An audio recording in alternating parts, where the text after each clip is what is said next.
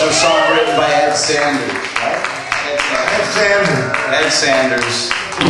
We very rarely announce no songs by me. I always think it's a funk song. Really, it was written by Ed Sanders. People always think we wrote it because we always play it. Desert of the Universe. Fugs reunion. I, I heard them do that live at the Fugs reunion some uh, window panes, like the old window panes were different than the gels we get now. They're, they were like a window pane, you know, they had like a, it's like the liquid was in a little like seal in the, the pyramid top. I don't know. But anyway, I, never forget that too. But this is a song Dennis wrote. Any of the songs I wrote, we don't really play, it's two chords.